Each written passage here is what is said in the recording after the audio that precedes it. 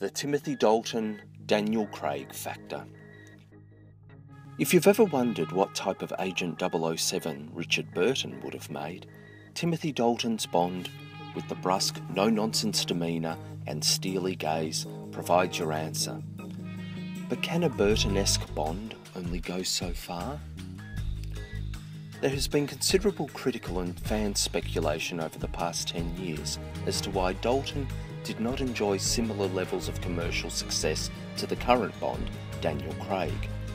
Craig being his closest cousin in delivering a grittier, more rebellious version of the character. Perhaps, it has been posited, Dalton and his more straight faced films was ahead of the time, whereas Craig was the right time. Or maybe Dalton's Bond was too dramatic a shift after his immediate predecessor, the droll and more tongue in cheek Roger Moore.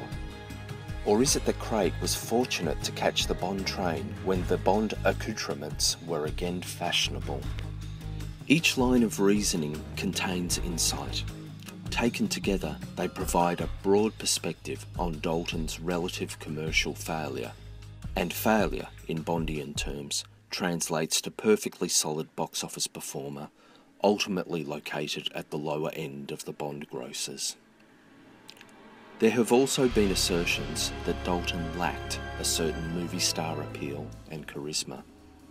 Possibly the Dalton films were ahead of their time. While the films were generally very well received critically, accompanying the commentary were passages that betrayed an anxiety, an anxiety surrounding whether the push to take the series towards a more serious tone had been too emphatic. Craig's Bond films, though, have been largely endorsed without such accompanying concerns, suggesting the films are more aligned with the zeitgeist of their time. Regarding the lack of star appeal, it's difficult to reconcile these assertions on the evidence of Dalton's performances in films such as 1980's Flash Gordon and 1991's The Rocketeer he clearly had the capacity to invest an Errol Flynn type elan and a smooth, tongue in cheek panache into the James Bond character, should he have so desired. But this was not his intention over the course of the two Bond films he starred in. And intention points us towards a fundamental difference in Craig and Dalton's interpretation of the role and I wonder if it is this difference that has played a particularly significant role in the popularity divide between the two actors. Dalton took a particular creative punt, one that was supported by his producers, director, and writers.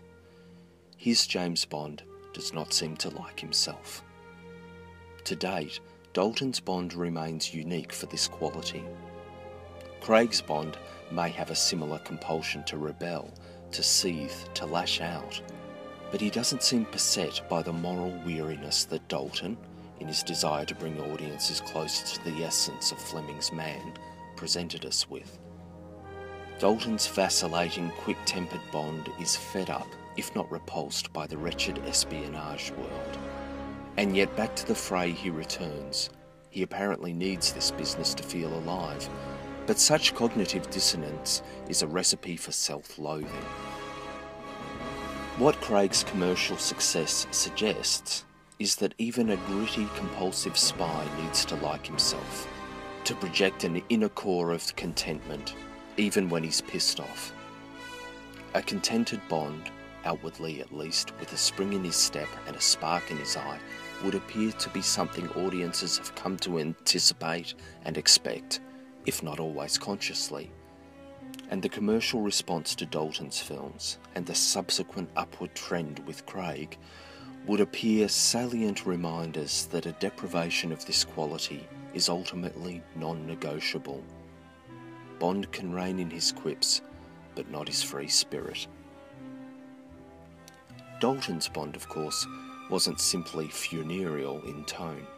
Flickers of warmth shone through, and he projected a sincerity, however battered by circumstance, that was duly acknowledged by commentators. For anyone who ever found the other Bonds a touch conceited, Dalton was the refreshing alternative. The distinctiveness, if not the daring, of Dalton's take a schoolboy sincerity mixed with adult jadedness, I find becomes more pronounced as each new Bond film is released, for it becomes increasingly apparent that certain Dalton Bond characteristics will not be replicated anytime soon. And given that the concerning box office of the mid to late 80s ultimately did not lead to the series' demise, the said box office almost adds to the intrigue of the Dalton years. Not unlike the comparative drop in box office that accompanied George Lazenby's solo effort. As we well know though, box office drops, critical hostility and or genre excesses typically force a rethink is Bond maintaining currency? Is he being played the right way to satisfy cultural trends? A lot of thought, debate, and deliberation is given to this.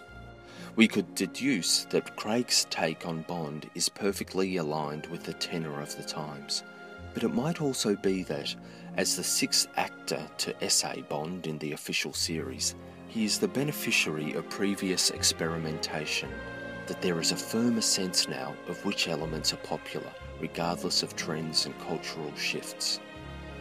The disparity between Craig and Dalton's commercial popularity supports the importance of a self regarding Bond, a quality reinforced by the four other Bond actors as well.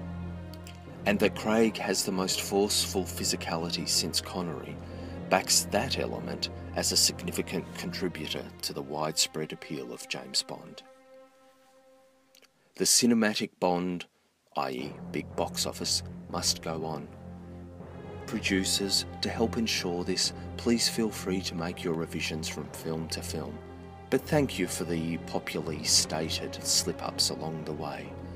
Whether it be a Bond who is too grave, too dated, too advanced in years, too untried, too fanciful, or, in recent times, possibly a little too far fetched in the family relations stakes because these slip ups can actually be gems. They just might be risky to replicate too often. Still, we got to see Richard Burton's take on James Bond twice. We should be so lucky.